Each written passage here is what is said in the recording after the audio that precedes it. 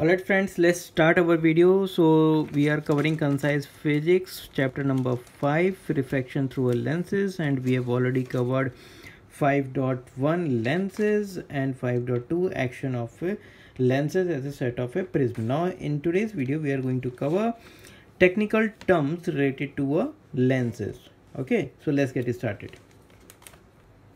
Let me write the chapter name first. This is chapter 5 refraction through a lens. And we are going to cover 5.3 which is what which is technical terms related to a lens so first technical term we are going to see which is center of curvature. Okay so friends i am going to explain this in a very simple term so just focus okay? Let's say this is our lens okay.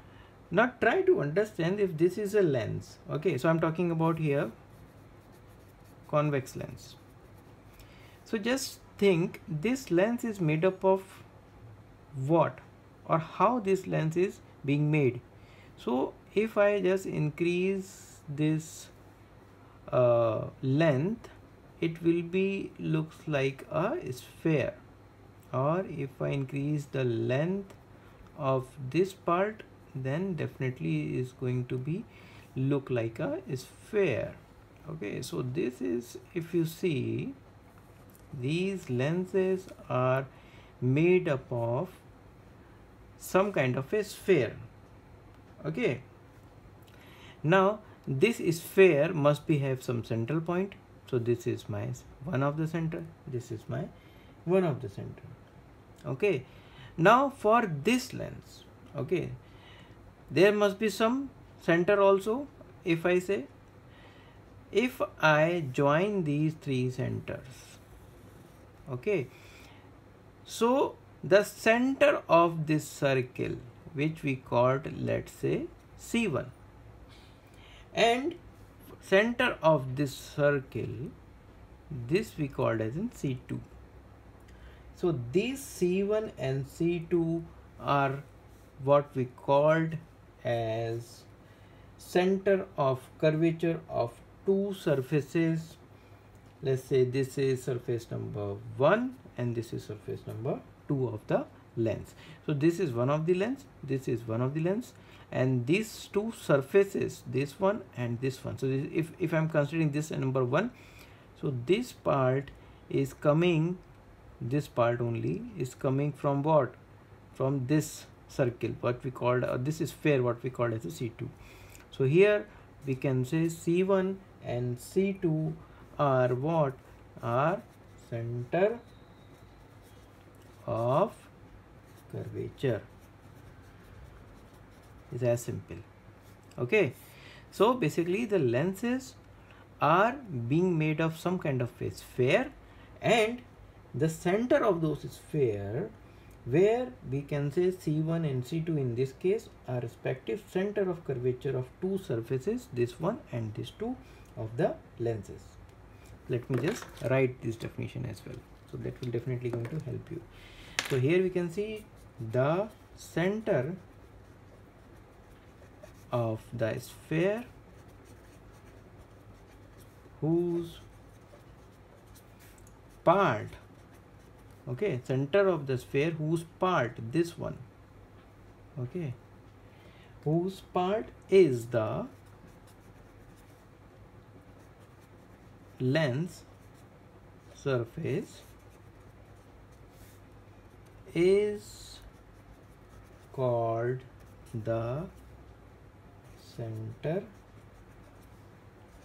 of curvature.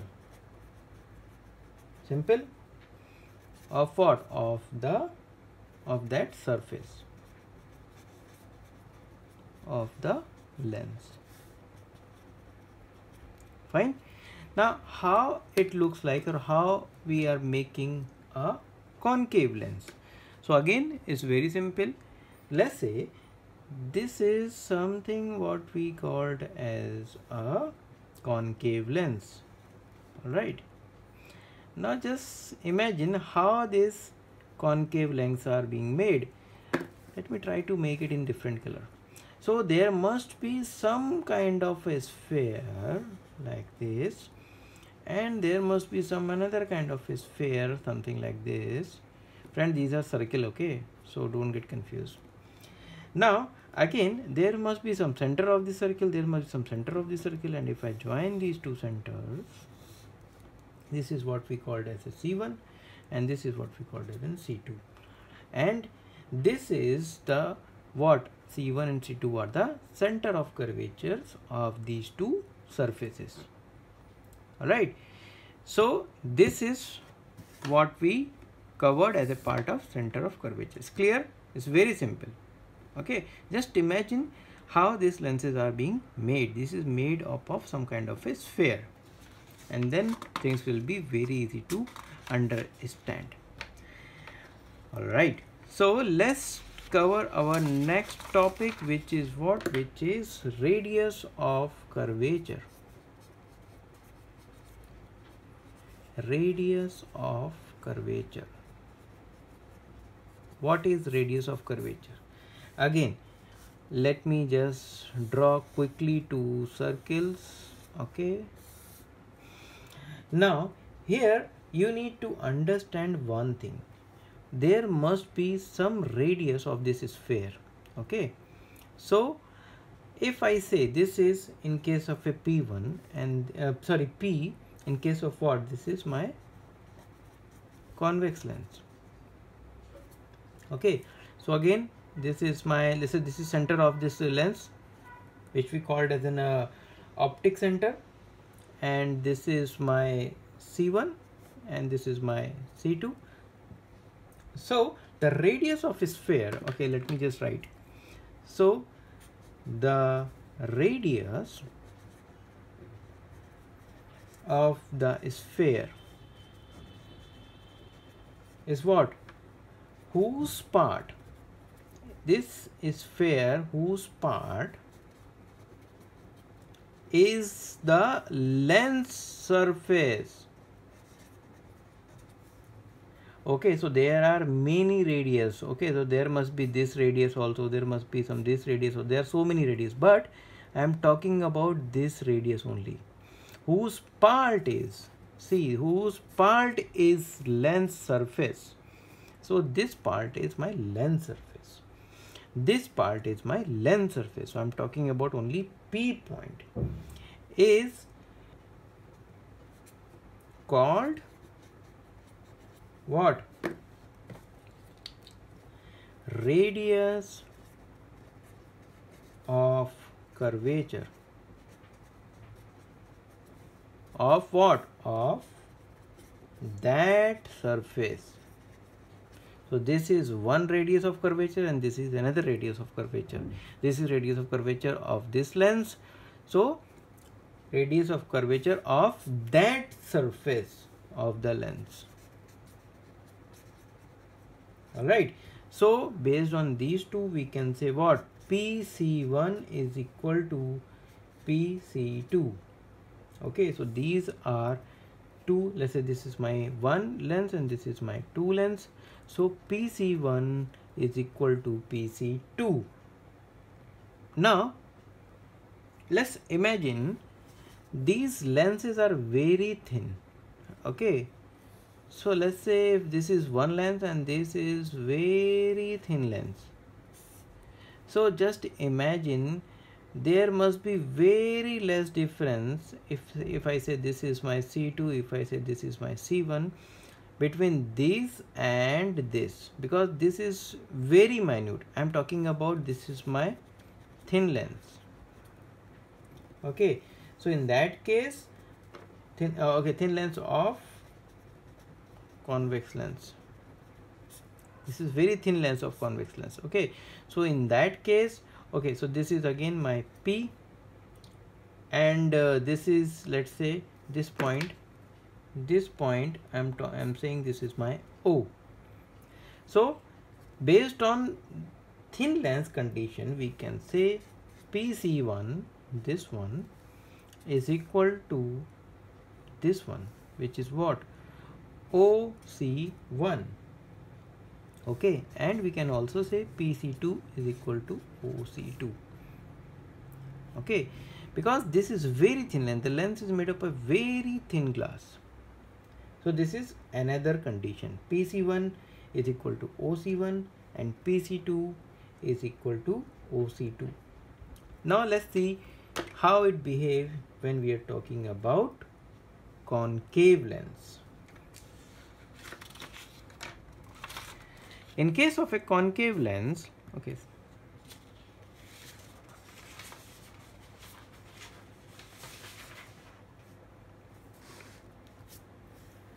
so concave lens are made up of some lenses like this.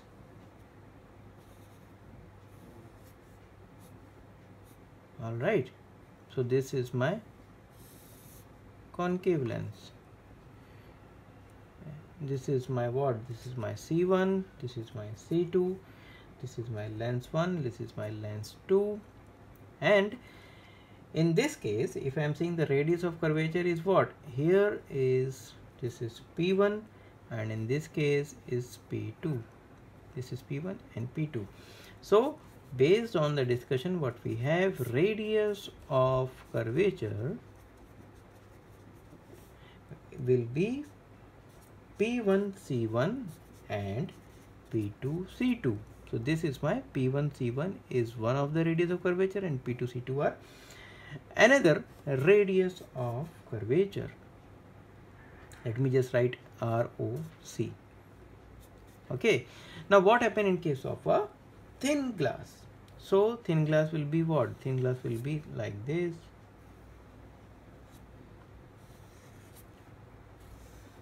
Okay. So in this case this is 1 this is c1 this is again i'm saying this is let's say o this is c2 so this is one of the concave lens and this is my thin lens. So in this case the radius of let's say from here to here will be equal to here to here.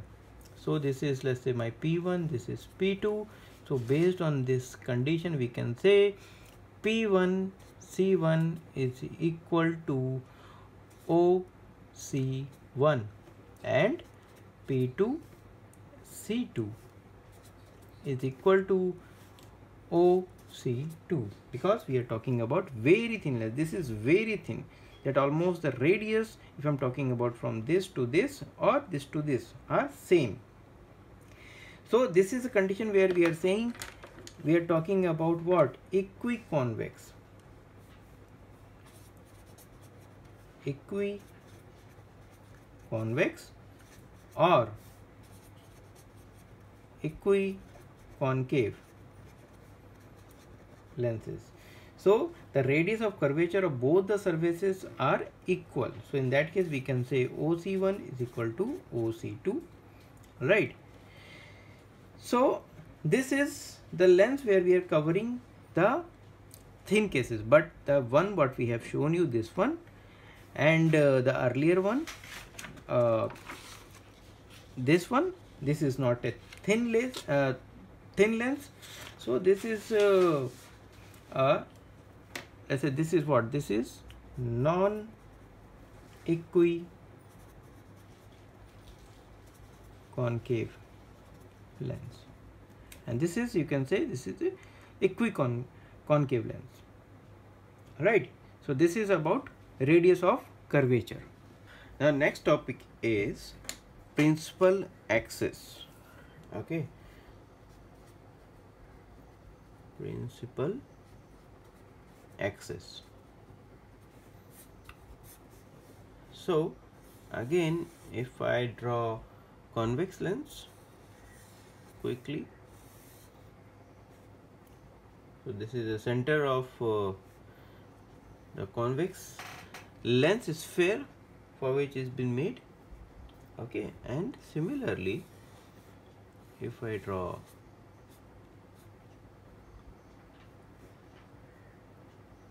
concave lens. So in that case this is what? This is convex lens. This is concave lens. This part. So if I'm talking about this line okay C1 which which is meeting C1 and C2 this is line is what we called as a principal axis. So the definition will be it is the line joining the center of curvature